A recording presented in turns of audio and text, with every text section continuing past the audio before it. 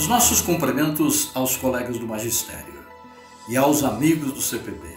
Estamos aqui no isolamento, é o que nós temos hoje e temos que cumprir, porque a responsabilidade social é muito grande. O ano de 2020 começou realmente complicado.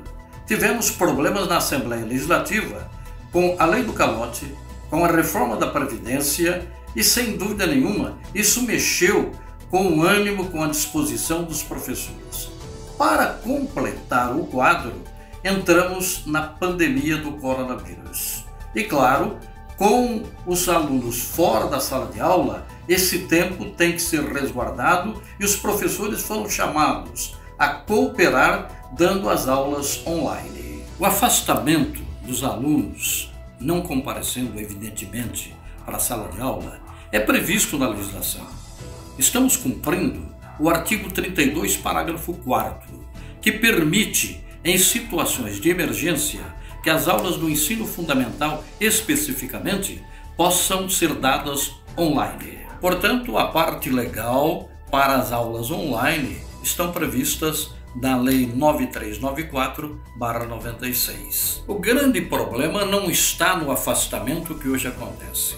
O grande problema está previsto para o retorno às aulas presenciais. Até porque nós temos que saber que não voltaremos da mesma maneira que nós saímos para o afastamento pela pandemia. A situação será diferente, até porque isso é exigido para um retorno que tenha condições realmente de acontecer. Claro está, portanto, que não será simplesmente um retorno dos alunos e uma volta dos professores. Isso porque a situação não será mais idêntica teremos um problema sério para a Secretaria da Educação, que nunca praticamente se disse convencida de que temos muitos alunos para a sala de aula.